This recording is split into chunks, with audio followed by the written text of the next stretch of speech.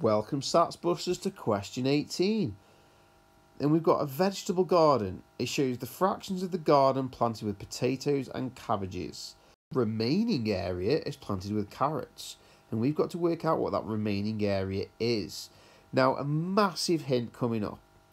On your arithmetic paper, whenever you've got fractions with different denominators, you're always encouraged to make the denominators the same first. So make some equivalent fractions where the denominators are the same. And it's exactly the same here. So we need equivalent fractions where the denominators are the same for two thirds and a quarter. So we need a common denominator for thirds and quarters. Common denominator for thirds and quarters is twelfths. So we're going to turn both of these into twelfths. So to get from 3 to 12, we're timesing that by 4. So we need to times the 2 by 4 as well. 2 times 4 is 8, so that's 8 twelfths. And to get from 4 to 12 is times 3. So we need to times the 1 by 3 as well. 1 times 3 is 3.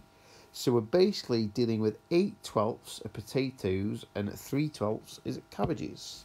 So potatoes, let's just say that again. The potatoes is 8 twelfths. Cabbages is 3 twelfths. And you can probably see what's going to happen here. Carrots is the rest of it well, the remaining area to make it up to the whole garden. Now, the whole garden would be 12 twelfths. So that's worth remembering as well. The whole garden is 12 twelfths. So 8 twelfths and 3 twelfths is 11 twelfths. So we just need to have one more twelfth for carrots and that will get us up to the 12 twelfths to make the whole garden. So carrots, final answer for carrots is 1 twelfth. But yeah, you've got to remember that questions which can be put on arithmetic papers can easily be adapted to appear on reasoning papers as well.